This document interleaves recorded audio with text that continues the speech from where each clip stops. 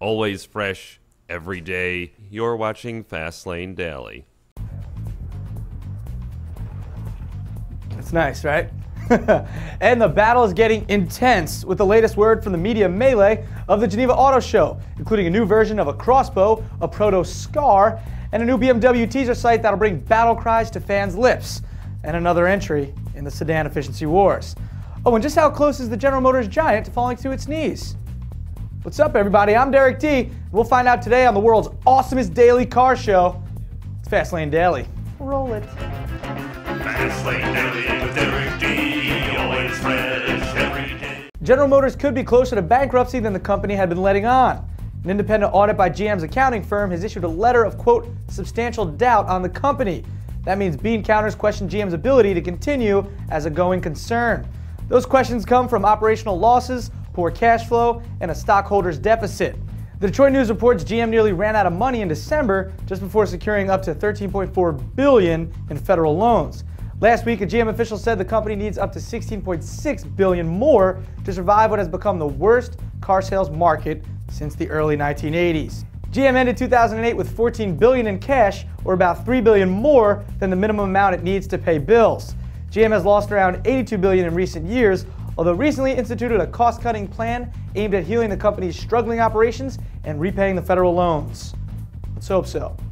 Now back to the Geneva Motor Show where Mercedes rolled out its redesigned midsize sedan. That's of course the E-Class.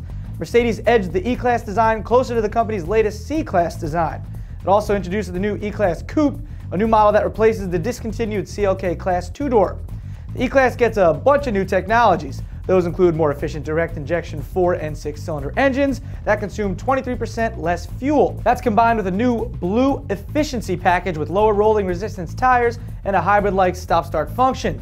No word on price or US release, but the company will likely include that info at the E Class North American release. And Austrian motorcycle builder KTM unveiled its new version of a carbon fiber chassis Audi powered crossbow track day toy in Geneva this week. Those include the base model Crossbow Street and the Crossbow Club Sport, and the FIA sanctioned racing model, the GT4. The new versions follow a recessional cut in yearly output from 1,000 units to 600 units. Prices range from around 50,000 euros to 82,000 euros, with the Club Sport model costing a range of 60,000 euros. Still no word on a US release, but KTM can probably, you know, wait a couple years. And while some fans of BMW's M Power models are baffled by the first M SUVs, BMW is still launching a show and tell campaign. The company launched a new website promoting the X5 and X6M models. The turbocharged V8 powered trucks could be unveiled as early as next month. The X5M and X6M models are expected to feature a more powerful version of BMW's twin turbocharged 4.4 liter V8. Prior reports indicated the models could produce a similar 507 horsepower as the company's naturally aspirated V10. 0 to 60 times could undercut 5 seconds.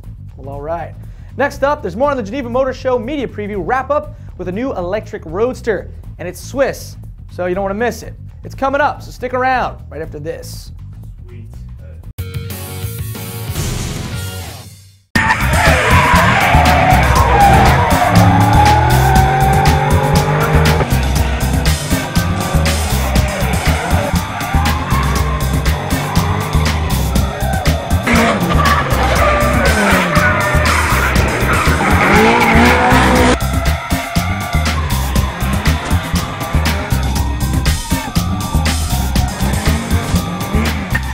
Tuesday next week on Garage 419, and Wednesday and Thursday next week on Fastlane Daily. Vaughn Gittin Jr. drifts Japan in a 2010 Mustang.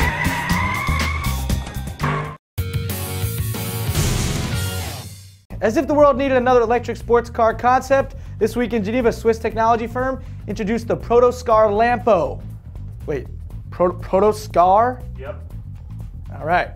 Anyway, it's made from carbon fiber composite materials and gets power from a two electric motor design. Those add up to output of 268 horsepower and an instant 325 pounds-feet of torque. Each axle gets a separate motor, which makes for all-wheel drive power delivery.